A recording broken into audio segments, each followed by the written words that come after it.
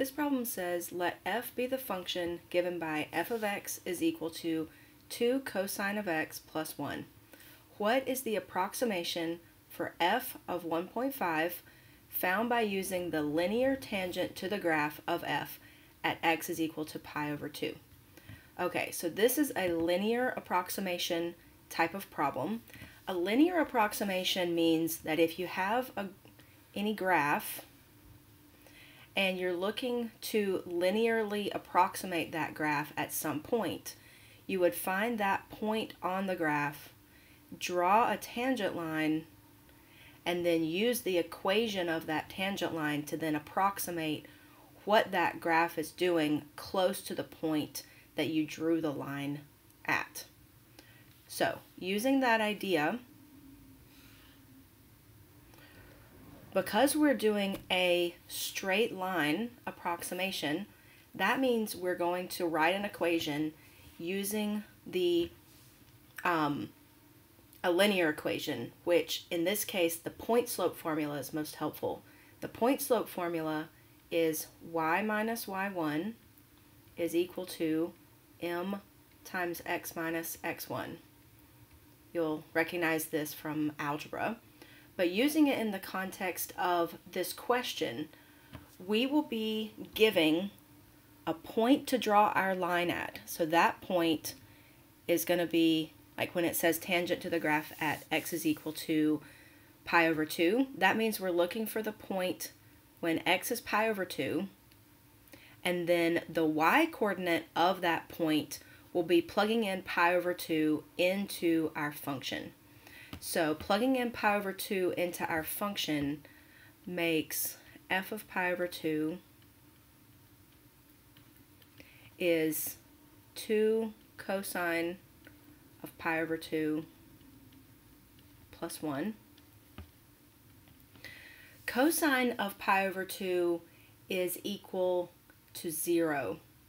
Um, and we can do that by using the unit circle. Pi over 2 is here, and the coordinate there is 0, comma 1. The cosine of an angle is the x-coordinate, so that makes it 0. That would be 2 times 0 plus 1, which simplifies to 1. So our coordinate, and I should have written this not in the formula color. Our coordinate that we're using for our point slope form is pi over 2 comma 1. So that's our x1, y1. And the slope of our line, our m, is going to be equal to the derivative at that point that we're plugging in. So let me rewrite our formula in terms of the linear approximation form would be y minus, let's call this f of a, is going to be our, our y1. Our m, our slope, is going to be the derivative at a.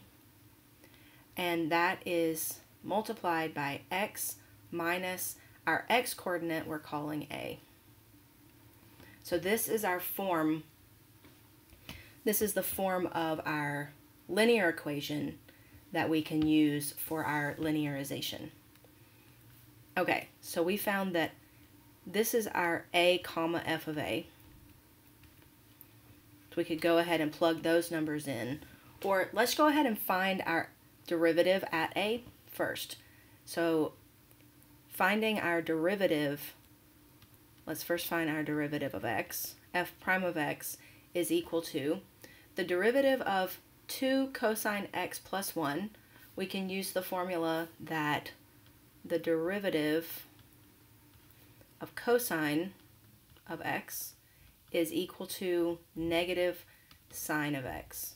So this is a general formula that you'll need to memorize generally, unless um, your teacher allows you to use a formula sheet. So that would be 2 times cosine, or wait, our function, sorry, our function is 2 cosine of x. So cosine of x will go to negative sine x and then the derivative of a constant goes to zero. So the plus one will go to zero. So that means that our derivative is negative 2 sine x.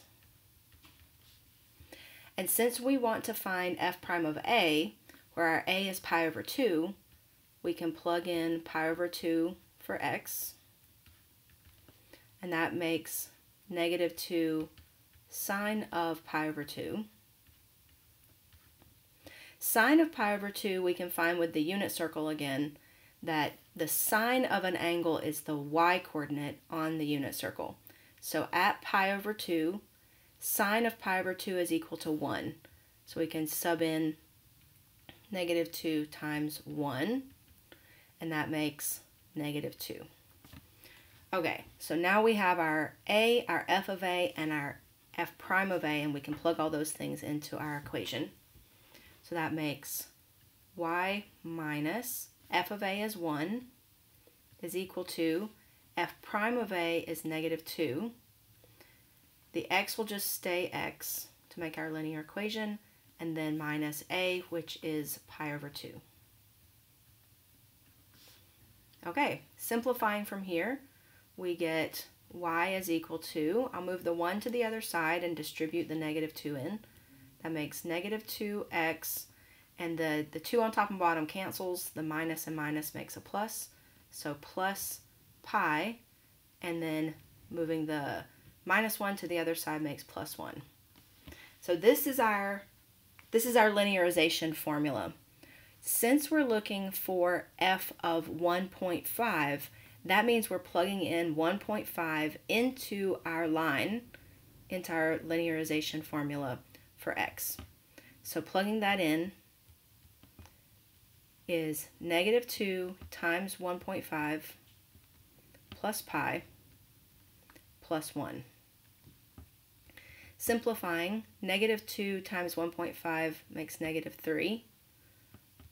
Bring down the plus pi plus 1 and combine like terms. Negative 3 plus 1 is negative 2, so that would be pi minus 2, which is our final answer, or letter C. Okay, well, I hope this homework help solution was helpful for you. If it was, please leave me a like and subscribe to my channel for more similar videos of walking through homework problems. If you have a homework problem that you're struggling with and you'd like help with it, feel free to leave that in the comments, or if it's easier, uh, I also have my email listed in the description so that you can send me an email as well. Well, thanks for watching and happy studies.